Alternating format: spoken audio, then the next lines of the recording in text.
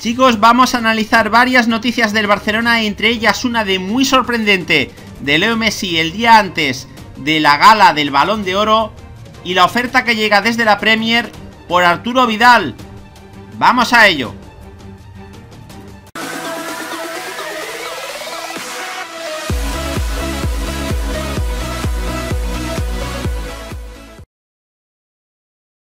Chicos, sobre todo, no os olvidéis dejar un like al video, de suscribiros al canal si aún no lo habéis hecho y de darle a la campanita para recibir nuevas notificaciones cuando somos nuevos videos y así estar a la última de las noticias del fútbol.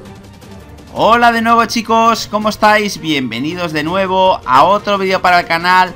Vamos a analizar la última hora del Fútbol Club Barcelona en el día en el que se enfrenta al Atlético de Madrid en el Wanda Metropolitano, pero vamos a hablar de otras noticias bastante interesantes, por tanto te animamos a que te quedes hasta el final del vídeo. Primeramente vamos a analizar los lloros, las lágrimas del entrenador del Paris Saint Germain, de Thomas Tuchel, cuando se enteró que De Jong había firmado por el Fútbol Club Barcelona. El pasado mes de enero, el Barcelona lograba el fichaje de Frenkie De Jong con una maniobra final de Josep María Bartomeu convenciendo al jugador y al Ajax de Ámsterdam. Le arrebataban los culés el fichaje al Paris Saint Germain en sus narices, lo que propició una reacción inusual de su entrenador. Todo el mundo conocía ese interés y sabía que Frenkie estaba valorando todas las opciones. Yo lo conozco desde hace tiempo y sé cuando escoge algo. Tomás Tuchel estaba literalmente en lágrimas cuando perdió la batalla, eso es lo que ha explicado su agente Ali Dursun en declaraciones a Football International. Por tanto, chicos, lágrimas, literalmente lloros de Tomás Tuchel cuando se enteró que el Barcelona fichó a De Jong y es que en ese momento se dio cuenta de la joya que había perdido para el Paris Saint Germain. En fin, vamos a hablar ahora de uno de los colosos, de uno de los auténticos cracks del fútbol europeo, de Robert Lewandowski, que podría romper uno de los registros que tiene Leo Messi. Sus cuatro goles el otro día ante el Estrella Roja le convirtieron de nuevo en el héroe del encuentro y con ellos el ariete polaco suma 27 goles con el Bayern de Múnich y 4 con el equipo nacional de Polonia, lo que hace un total de 31 tantos. Tras haberse convertido en el quinto jugador en anotar en las cinco primeras jornadas de la fase de grupos de la Champions intentará cazar a Cristiano Ronaldo, que es el único que ha anotado en las seis jornadas de esta parte del campeonato. A este hito hay que sumar que con el póker ante el Estrella Roja se convirtió en el sexto jugador en alcanzar esta cantidad de goles como visitante en la Liga de Campeones. Sin embargo, el polaco intentará seguro batir un reto más complicado que los anteriores, en la temporada 2011-2012, Leo Messi anotó 81 goles entre el club y selección, siendo esta su mejor marca personal y el récord mundial que nadie ha podido superar en 8 años, según informa 2010 Mr. En Twitter. A estas alturas del curso, el argentino llevaba 27 goles, por lo que Lewandowski lo supera por cuatro tantos si el polaco mantiene el ritmo podría superar con creces los números del astro argentino, pero es que mantener ese ritmo hasta final de temporada solo está al alcance, bajo nuestra opinión, de Messi, aunque Robert Lewandowski reconocemos que es un delantero centro goleador nato y que lleva una racha brutal de goles, pero se antoja muy complicado llegar hasta final de temporada a este ritmo. En fin, de todas maneras, vamos a esperar finalmente qué es lo que sucede Vamos a hablar ahora, chicos, de uno de los jugadores que interesa al Fútbol Club Barcelona y estamos hablando de Carlos Vela, el jugador mexicano que juega en la MLS. El mercado invernal cada vez está más cerca y los movimientos alrededor de la plantilla del Barcelona siguen creciendo con hombres como Ricky Puig, Carles Aleñá o incluso Arturo Vidal como opciones para abandonar la plantilla. Desde México apuntan a una remota operación para sustituir a Dembélé Carlos Vela otra vez en la agenda.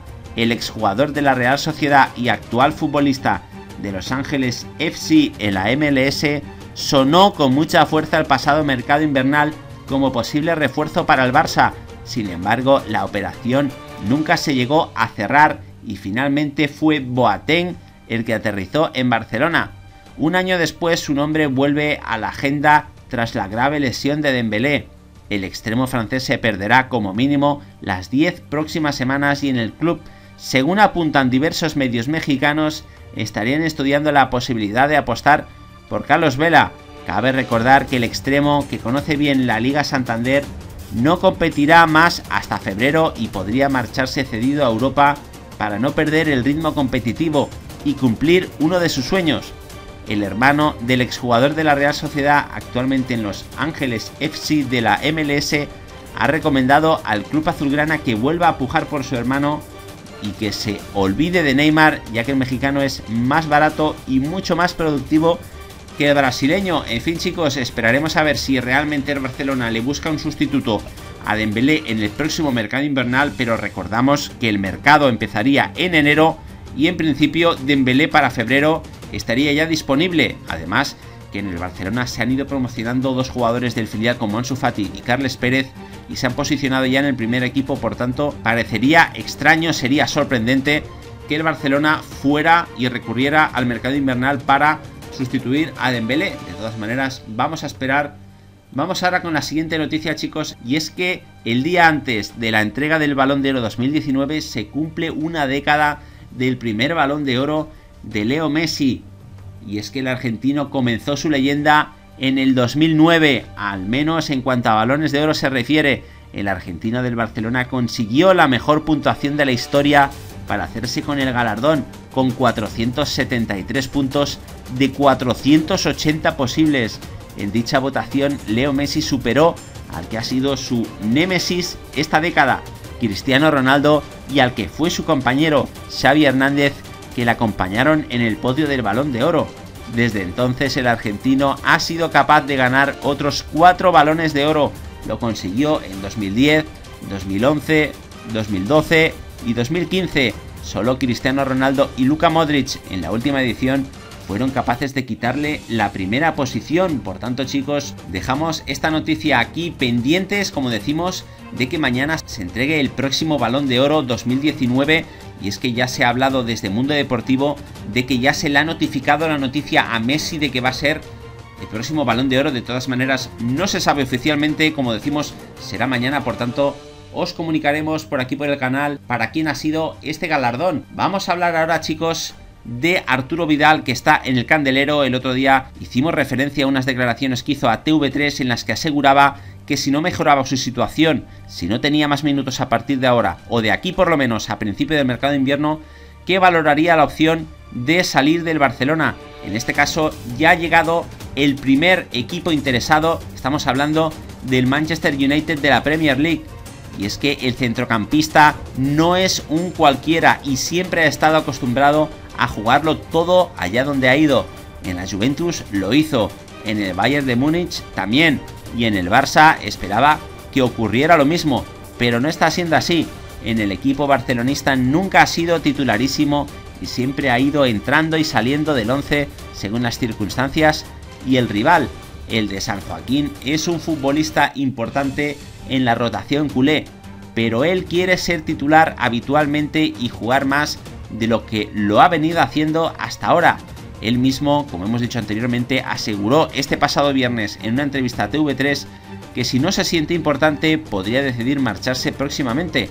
Comentó en palabras textuales, si en diciembre o cuando acabe la temporada no siento que soy importante, tendré que tomar una decisión y buscar otro sitio para volver a ser importante. Estas palabras le abren la puerta del Barcelona cuando parecía que el conjunto azulgrana se las había cerrado, al menos para invierno. En Europa el chileno tiene muy buen cartel y hay un equipo en la Premier League que ya se habría interesado en su situación. Según FC Internews, el Manchester United ya habría hablado con Fernando Felicevich, agente del mediocampista, para tantear su fichaje. La relación entre el representante de Vidal y los Red Devils sería muy buena debido al trabajo que hicieron juntos para colocar a Alexis Sánchez en el Inter de Milán este verano. Este sería el motivo por el que desde Old Trafford creen que podría tener más facilidades para poder llegar a un acuerdo con él. Los ingleses están teniendo una muy mala campaña y creen que con un jugador como Vidal podrían mejorar y cambiar esa dinámica. La idea sería conseguir un traspaso en enero y la cantidad que el United estaría dispuesto a pagar por Arturo Vidal rondaría los 15 millones de euros. Los Diablos Rojos creen que ese es el precio actual de mercado de un Vidal que cumplirá 33 años en mayo del año que viene. El Barcelona no tiene intención de traspasar al ex de la Juventus, aunque de hacerlo parece que pedirá más de 15 millones de euros. Por tanto, chicos, ya tenemos sobre la mesa, dos días después de las declaraciones de Vidal, del primer coloso en Europa del Manchester United, un grande venido a menos, pero que no deja de ser un grande. Vamos a ver Arturo Vidal cómo considera esta oferta. Tiene, por ejemplo, a un compañero suyo de selección, el chileno Alexis Sánchez, que estuvo un año y medio en el Manchester United con no muy buenas experiencias en el conjunto inglés, por tanto chicos, no sabemos si va a tener buenas referencias precisamente Arturo Vidal del club inglés. De todas maneras, nos gustaría saber vuestra opinión al respecto. ¿Qué os parece el interés del Manchester United por Arturo Vidal? ¿Pensáis que debería aceptar la oferta Vidal e irse al Manchester United? ¿O pensáis que no? ¿Pensáis que debería quedarse en el Barcelona o buscarse otro destino? Por favor, dejarnos vuestra opinión en los comentarios. Nada más por el momento, como siempre, animaros a dejar un buen like al vídeo, a suscribiros al canal si aún no lo habéis hecho y a que le deis a la campanita para recibir todas las notificaciones cuando subamos un nuevo vídeo. Os dejamos por aquí dos vídeos más para que estéis a la última de las noticias del fútbol. Hasta la próxima.